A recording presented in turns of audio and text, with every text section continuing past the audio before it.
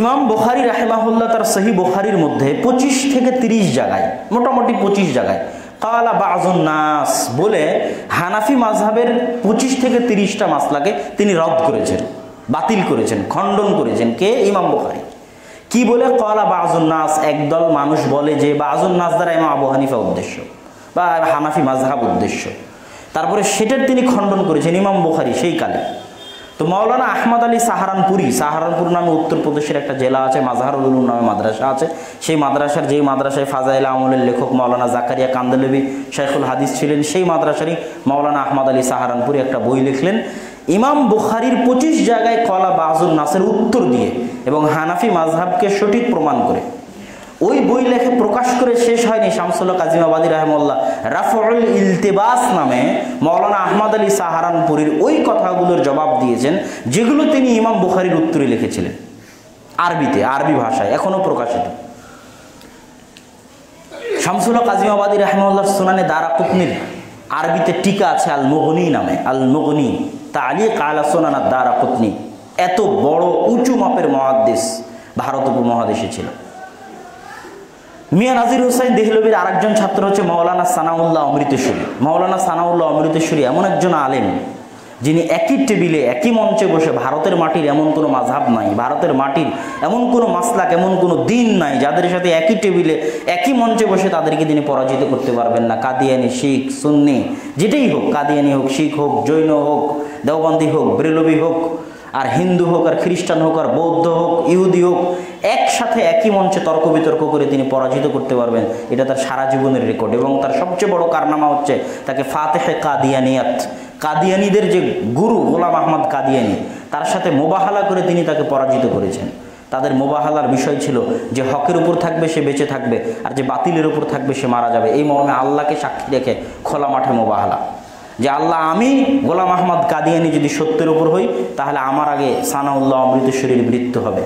আর সানাউল্লাহ অমৃতেশ্বরী বলল আল্লাহ আমি সানাউল্লাহ অমৃতেশ্বরী মোহাম্মদ সাল্লাহ ইসলাম শেষ নবী, এই কথাই যদি আমি হকের উপর থাকি, তাহলে আমার আগে গোলাম আহমদ কাদিয়ানির মৃত্যু হবে। গোলাম আহমদ কাদিয়ানি পায়খানায় পড়ে মারা গেল, তারপরে চল্লিশ বছর যাবৎ সানাউল্লাহ অমৃতেশ্বরী পৃথিবীতে জীবিত ছিলেন, খাতমে নবুয়তের জীবন্ত মজেদা হিসেবে। আর তিনি একজন আহলে হাদিস আলেন এবং তিনি মিয়া নাজির হোসাইন দেহলবি শাইখুলকুল ফিলকুলের ছাত্র। আরেকজন বড় ছাত্র হচ্ছে আবদুল্লাহ গাজীপুরি, যিনি ভারতের আহলে হাদিসদের কেন্দ্র বলা যায় মৌ, মৌনাথ ভাঞ্জান। যদিও কেন্দ্রীয় প্রতিষ্ঠান জামিয়া সালাফিয়া বানারস, কিন্তু এমনিতেই বই, পুস্তক প্রকাশনা, যেমন বাংলাদেশের আহলে হাদিসদের একটা ভালো কেন্দ্র আমরা বলতে পারি বংশাল। ঐতিহাসিকভাবে এই অঞ্চলের মানুষ আহলে হাদিস। এখানে সব আহলে হাদিসদের লাইব্রেরি বই, পুস্তক, কুতুবাদি পাওয়া যাবে, আরামসে, সহজে। ঠিক সেরকম ভারতের আহলেদিসদের কেন্দ্র হচ্ছে মৌ, ওই মৌয়ের বড় প্রতিষ্ঠান ফাইজে আম। আমি গেছিলাম, ঘুরতে গেছিলাম। সেই ফাইজে আমের প্রতিষ্ঠাতা আবদুল্লাহ গাজীপুরে, তিনি এরকম বহু অগণিত মাদ্রাসা প্রতিষ্ঠা করেছেন। এবং অল ইন্ডিয়া আহলেদিস কনফারেন্স যখন গঠন হয়, তখন এই সানাউল্লাহ, অমৃতসুরি, আবদুল্লাহ গাজীপুরি, আব্দুর রহমান মোবারকপুরি, শামসুল্লাহ গাজীবাবাদী সবাই দায়িত্বে ছিলেন। সবাই সেই জিনিসটার দায়িত্ব গ্রহণ করেছিলেন। তো এগুলো বলার দ্বারা যেটা উদ্দেশ্য এর পরবর্তীতে আরও যে আলেম ওলামা ছিলেন না, আসেননি তা নয়। অনেক বড় বড় আলেম ওলামা তাদের পরবর্তীতে এসেছেন। যেমন আমি যদি মৌলানা ইসমাইল সালাফির কথা বলি, হুজ্জিয়াতে হাদিসের উপর তার উর্দুতে বই আছে। মৌলানা ইসমাইল সালাফি পাকিস্তানের একজন বড় আলেম, উনি উর্দুতে হুজ্জিয়াতে হাদিসের উপর যে বই লিখেছেন, ওই বই বুঝতে গিয়ে আমার মাথা আউলে গেছে। এত কঠিন এবং এত জটিল ইলমি আলোচনা বইয়ের মধ্যে করেছেন। তারপরে একজন আছে মৌলানা হাফেজ মোহাম্মদ গন্দুলবি, যাকে মদিনা ইউনিভার্সিটির শিক্ষক করা হয়েছিল। উনিও পাকিস্তানের একজন আহলেদিস আলেম। আনোয়ার শাহ কাশ্মীরি একজন বড় দেওবন্দি হানাফি আলেম। তিনি হাফিজ ইবনু হাজার আসকালানির ফাতহুল বাড়ির ভুল ধরেছেন ফাইজুল বাড়িতে তার লেখা সহি বুখারির ব্যাখ্যা গ্রন্থ ফাইজুল বাড়ি ওই ফাইজুল বাড়িতে উনি যে ভুলগুলো হাফিজ ইবনু হাজার আসকালানি ধরেছেন, সেগুলোর উত্তর এবং পাল্টা আনোয়ার শাহ কাশ্মীরির ভুল ধরে ইরশাদুল কারি নামে হাফিজ মোহাম্মদ গন্দুলিবির বই আছে। পড়লে আপনি এটা, যারা আলেম একমাত্র তারাই অনুভব করতে পারেন যে উনি কোন লেভেলের আলেম ছিলেন, আমি আপনি বুঝতে পারব না। তো এই অঞ্চলগুলোতে যে আলেম ওলামা ছিল না, এটা নয়। এবং সঠিক দিনের যে প্রচার হয়নি, এটা নয়। নব সিদ্দিক হাসান খান ভূপালির নাম তো বলতে ভুলেই গেছি। নব সিদ্দিক হাসান খান ভূপালি এত বড় মাপের ভারতীয় উপমহাদেশের একজন আহলেদিস আলেম ছিলেন যে তিনি আকিদার ওপরেই দশের অধিক বই লিখেছেন আরবি, উর্দু, ফার্সিতে। আকিদার উপরে। কাতফুসামার ফি আকিদাতে আহলিল আসার, তার লেখা আকিদার উপর বই। এ মাসের মাসিক আল ইতেসামে পাবেন যে ভারতীয় উপমহাদেশের আহলেদিস আলেমদের আকিদার ক্ষেত্রে খেদমত, আমার লেখা। ওর মধ্যে নব সিদ্দিক হাসান খান ভূপালির কথা আছে। উনি যে উন্নত আরবি ভাষায় বই লিখেছেন ওই রকম উন্নত আরবি ভাষায় আরবের আলেমদের লিখতে হিমশিম খেতে হবে।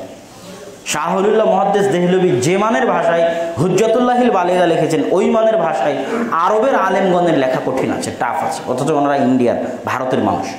নব সিদ্দিক হাসান খান ভূপালী আহলেদিস মানহাজের এত ব্যাপক খেদমত করেছেন। আজকে আপনি ফ্রি বই বিতরণ করতেছেন। বিভিন্ন লেখকের লেখা ফ্রি বই। উনি সেই কালে বুলুগুল মারাম, মিশকাতুল মাসাবি সহিবুখারি তাফসির ইবনে কাসির বাহির থেকে নিয়ে এসে নিজের গাঁটের টাকা খরচ করে, লাখ লাখ কোটি কোটি টাকা খরচ করে বড় বড় আলেমের কাছে ছাত্রদের কাছে ফ্রি বিতরণ করেছেন। হাদিস মুখস্থের জন্য পুরস্কার দিয়েছেন। কেন? উনি নব ছিলেন। নব হওয়ার কারণে ওনার টাকার অভাব ছিল না, আবার জ্ঞানের অভাব ছিল না। আল্লাহ তাকে জ্ঞান এবং টাকা দুটোই দিয়েছিলেন। তিনশোর অধিক তিনি বই লিখেছেন, এদেশের আলেম, ভারত উপমহাদেশের আলেম।